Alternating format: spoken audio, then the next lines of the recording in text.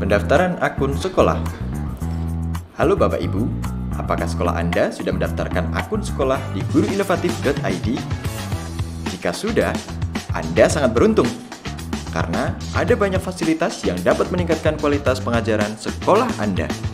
Seperti data sekolah jadi lebih rapi, pemantauan aktivitas guru jadi lebih mudah, dan dapat mengikuti berbagai program dari guruinovatif.id. Ingin tahu gimana cara mendaftarkannya?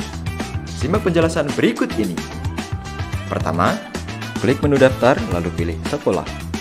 Kemudian, isi data informasi sekolah. Jangan lupa, isi dengan lengkap ya. Mulai dari nama sekolah, NSPN, alamat sekolah, nama kepala sekolah, dan lain-lain.